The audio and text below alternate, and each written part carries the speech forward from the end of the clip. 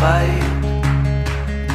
I'd rather be alone, asleep Not weary for a break